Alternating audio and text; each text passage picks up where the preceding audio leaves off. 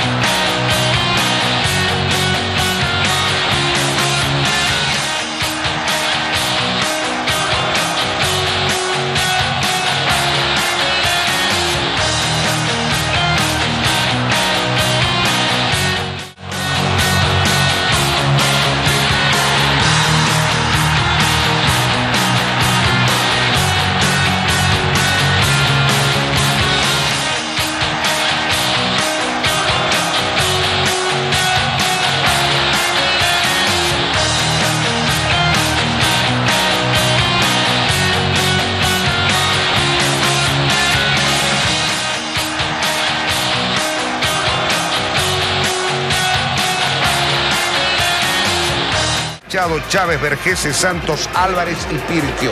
Ese fue el cuadro que presentó Zamora de principio. Acá aparece quién?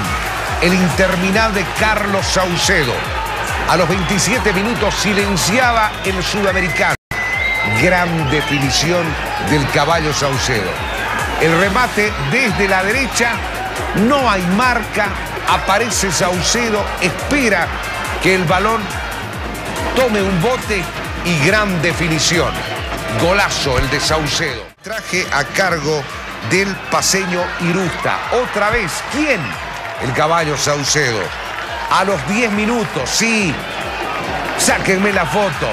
Porque marcaba el segundo y la visita le estaba ganando a un Wilterman que intentaba, pero que no podía sacar un... Que viene, atención, arriba, va, salía mal el portero, le canta el primero, al caballo, ¡Gol!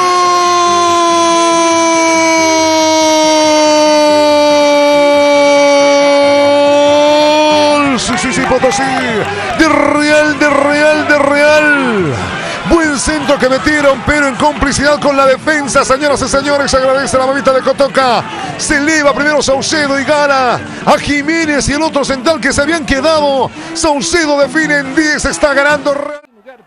Abrió la cuenta Carlos Saucedo, minuto 16 del primer tiempo. La definición de uno de los arietes del fútbol nacional y goleador del cuadro del Real Potosí.